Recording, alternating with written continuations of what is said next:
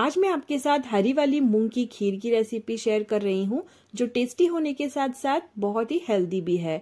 इस खीर को हर कोई एक कटोरी से ज़्यादा ही एक्स्ट्रा लेकर खाएँगे, क्योंकि ये बहुत ही टेस्टी बनती है फ्रेंड्स और इसे हम गुड़ के साथ बनाएँगे।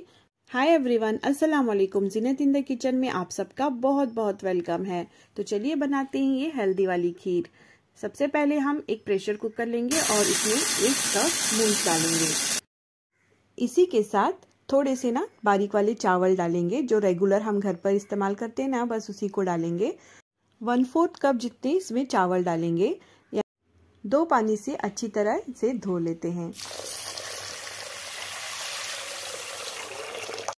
इस मूंग में लो फैट और हाई प्रोटीन होता है।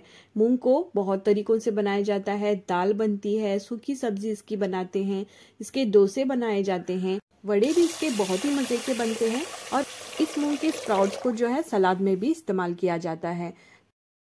अच्छी तरह धो लेने के बाद इसे गलने के लिए इसमें थोड़ा पानी डालेंगे और चार छोटी वाली इलायची को कूट कर डालेंगे। इससे अच्छा फ्लेवर आएगा। अब ढककर चार से पाँच सीटी आने देते हैं और ये देखिए, पाँच सीटी आ चुके हैं और ये बहुत अच्छी तरीके से गल चुकी है। अब इसमें गुड़ डालते हैं। गुड़ डालेंगे डेढ़ कप जितना कद्दूकस किया हुआ। अपने टेस्ट के हिसाब से आप ज़्यादा कम कर सकते हैं। गुड़ को अच्छी तरह मिक्स करके मेल्ट होने देते हैं। गुड़ मेल्ट होने के बाद दो से तीन मिनट के लिए अच्छी तरह पका लें और गैस की फ्लेम को स्लो कर दें।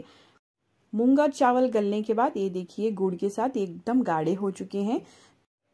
इसे पतला करने के लिए आप इसमें दूध डालेंगे। गरम करके ठंडा किया हुआ दूध डालें या फिर बिल्कुल ठंडा दूध भी इसमें डाल सकते हैं। गरम दूध इसमें मत डालिएगा, नहीं तो दूध जो है फट जाएगा। तो अब देखिए, इसे अच्छी तरह मिक्स कर लेंगे। जितनी आपको इसकी कंसिस्टेंसी रखनी है, आप उसमें दूध डालिएगा। तो ठंडी होने के बाद भी ये थोड़ी सी गाढ़ी हो जाती है तो थोड़ा सा देखकर आप एडजस्ट कर ले इसे। तो ये देखिए, बहुत अच्छी तरीके से आप दूध के साथ भी ये पक चुकी है। अब इस खीर में कद्दूकस किया हुआ कच्चा नारियल एक छोटी कटोरी जितना डालेंगे। खीर को खाते समय जब ये नारियल के रेशे आते हैं ना तो बहुत ही टेस्टी लगती है खीर। तो इसे आप ज़रूर डालें।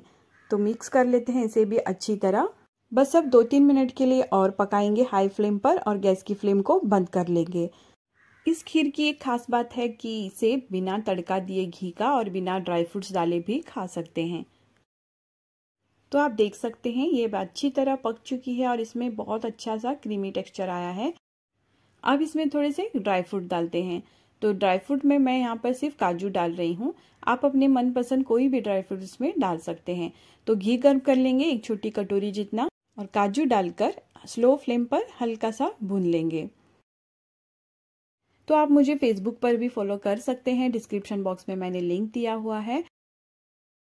तो ड्राई फ्रूट्स भी देखिए, हल्के से आप भून चुके हैं, गैस की फ्लेम को बंद कर लेते हैं।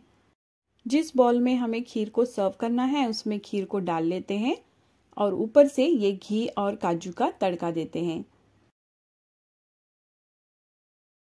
और भी बहुत तरीकों के डेजर्ट्स मैंने चैनल पर अपलोड की हुई है, उन्हें भी आप देखकर ज़रूर ट्राई करें।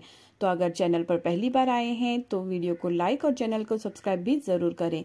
तो फिर मिलते हैं ऐसे ही मज़ेदार सी रेसिपी के साथ अगली वीडियो में। तब तक के लिए अपना ख्याल रखिएगा। अल्लाह हाफिज़। Thanks for watching